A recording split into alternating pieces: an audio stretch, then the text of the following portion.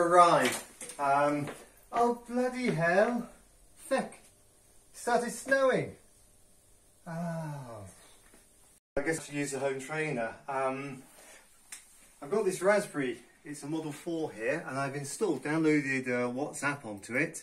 And uh, to start it, all I have to do is type sudo Wattzap, which will launch it as administrator. Uh, wait for it to start up.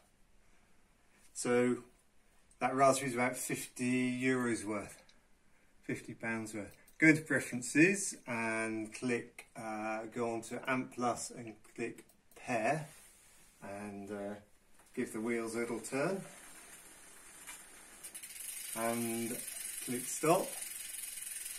And we have here can't see a heart rate monitor maybe it's not uh, in range but we've got everything else on here speed and play save and close and then I need to go and select a route uh, Motorola now this is just uh, uh, Wattzap will use the standard Tacx videos. If you've got any of these lying around, they were very popular about 10 years ago and you maybe get them second hand on eBay. You can also, there's lots of people sell them online, various videos of routes, and there's some you can download from the Wattzap website. And it will play Sufferfest videos, the old Sufferfest videos, uh, when they used to actually give you the video. So, click start.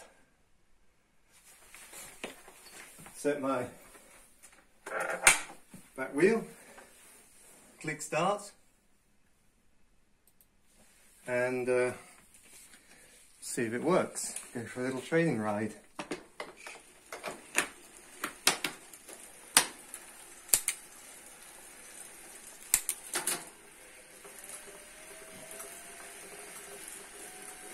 And here we have red is power in watts and uh, cadence. And you can see below the video speed is synchronized to the rider speed. You can also load training programs, so you can uh, load things like interval training programs. But there you go, this is on a, that tiny little computer's playing his back.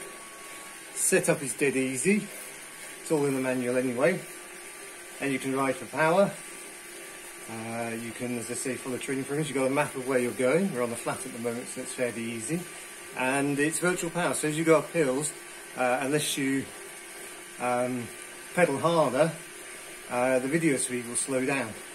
So it syncs to the power that you're producing. You see down there at the bottom we're on 109 watts, 30 kilometers an hour.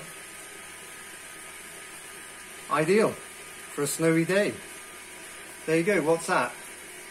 It's a free application.